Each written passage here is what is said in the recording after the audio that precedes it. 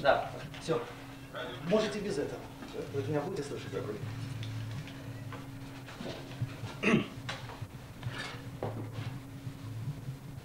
Добрый вечер, дорогие друзья. В эфире радиостанция «Радио Премьер». Для вас работает студия выходного дня Николая Пивненко.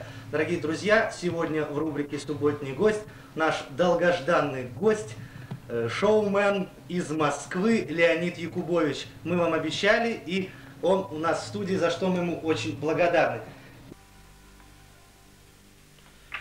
Здравствуйте, здравствуйте, уважаемые радиослушатели, все те, кто сейчас у своих приемников слушают радиостанцию «Радио Премьер».